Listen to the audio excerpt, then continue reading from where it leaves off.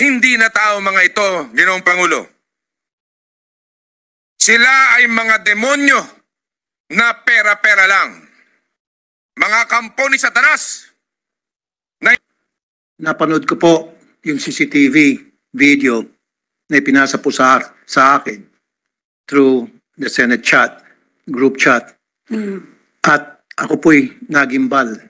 Short of saying, halos hindi po ako makahinga at hindi makapaniwala na hindi po aking mga balahibo dahil daig pa nasa pelikula yung ginawa pong assault ng limang katao na may bitbit na mga high-powered firearms, walang kabog-abog, nagpaputok, pinaputukan lahat. Walang kabog-abog, pinaputukan ang ilang mga bodyguards, maging ang ilang mga sibilyan. Ang tanong, bakit ang lakas ng loob ng mga ito para gawin ang karumaldumal na krimen na yun? Ang tanong, ulit, kung yun po ay nagawa sa isang tao, sa isang opisyal ng gobyerno, pinakamataas pa man din na ranggo sa isang probinsya, governor to, so to speak, na gwardyado. Ano pa kaya sa mga ordinary nating mama, mamamayan? Although ako po'y nagpapasalamat sa ating mga otoridad, PNP and the military, dahil nahuli na po ang ilan sa mga suspects. At meron pa nga doon isa na However, meron pa rin pong pakukulang ating mga otoridad. Maybe sa intelligence.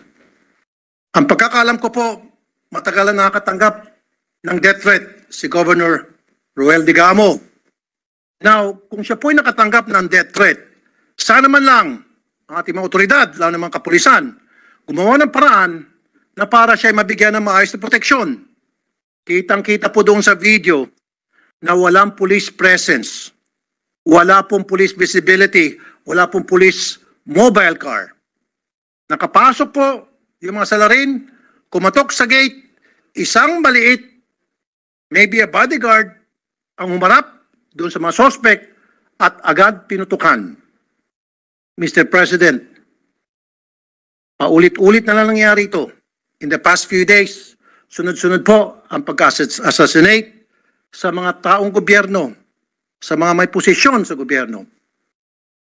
Well, alam po ng mga kinukulan kung sino mga suspect.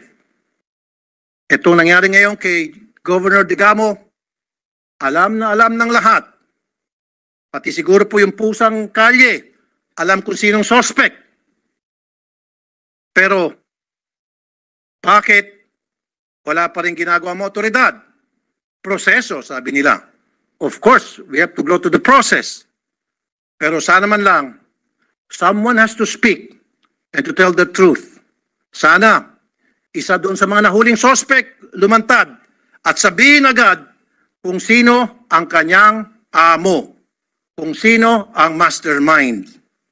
Nakakalungkot nga lang, Mr. President. Nangyayari ito at mangyari pa muli as long as as long as namamayagpag ang pera ng droga at ang pera ng sugal sapagkat sa mga perang yon nabibili ang marami sa ating mga otoridad. Nakakalungkot man lang sabihin to Mr. President, pero that is the truth. Kaysa po ako sa lahat na para hanapan ng solusyon, matigil ang karasang ganito. Maraming salamat, Mr. President.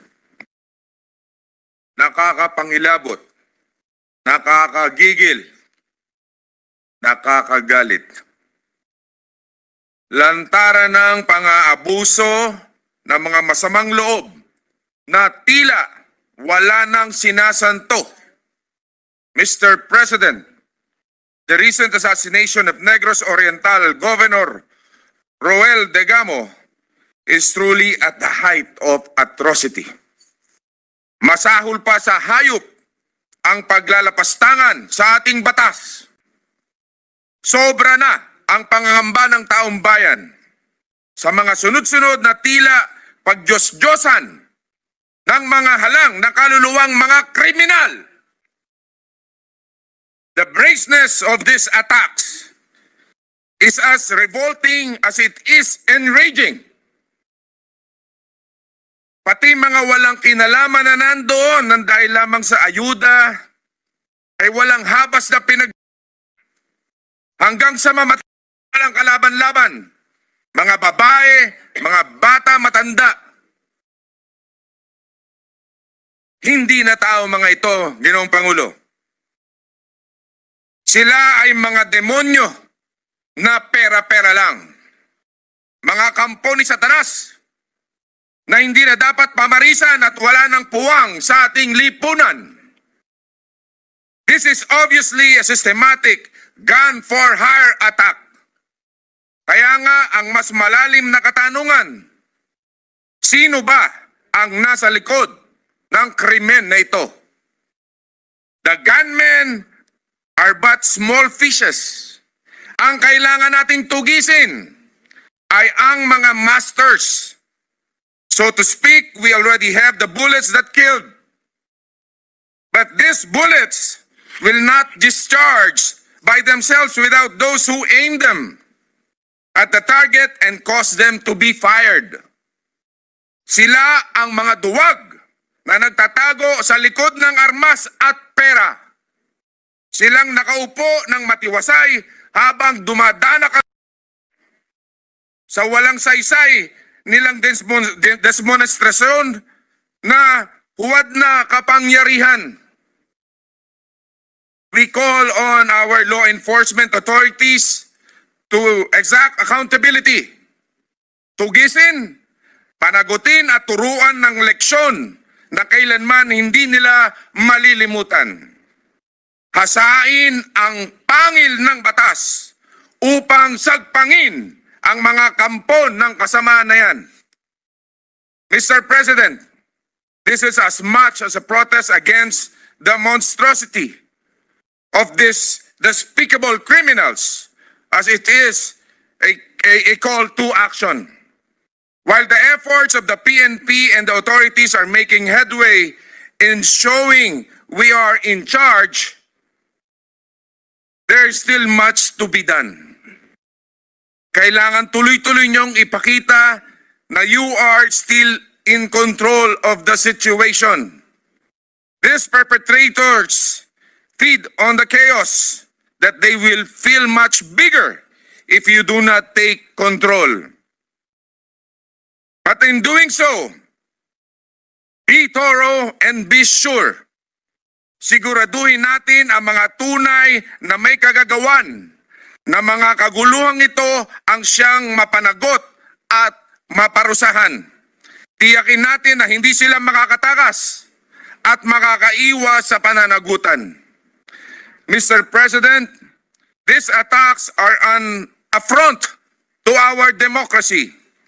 In a span of just five months, limang buwan, Mr. President, umaabot na sa siyam na madugo na brutal na pag-atake laban sa mga halal na local government officials kung saan mahigit na dalawampung buhay ang nasayang dahil lang sa bayarang berdugong ito.